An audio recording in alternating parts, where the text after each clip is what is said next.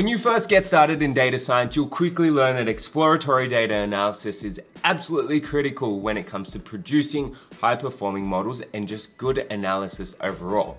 But there is a library that can help you do all of this pandas profiling. Let's take a look at how it works. In order to do it, you can pip install pandas-profiling into your environment and this will give you access to the specific library. Then we need to import pandas and pandas profiling and read in our CSV. From there, we can create a new instance of the profile report by using profile report and passing through our data frame as well as a title, which is optional.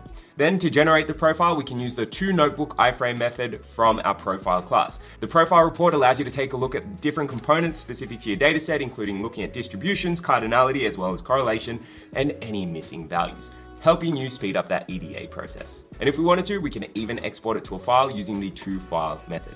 Have you used Pandas profiling before? Let me know.